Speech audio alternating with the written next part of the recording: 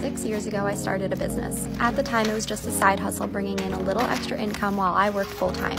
In 2019, I quit that full time job to pursue my side hustle full time.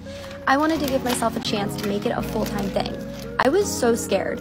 What if it didn't work out? What if I failed? What if I had to go back to work?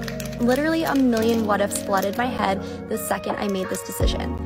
Gifts are my love language, and for the first two years of running my business full time, I wasn't able to spoil the people I love with gifts the way that I usually like to. I didn't even buy myself anything for over a year, and if you know me, you know how hard that was. The only money I spent was on my business. I reinvested most of my income back into my business to help it grow.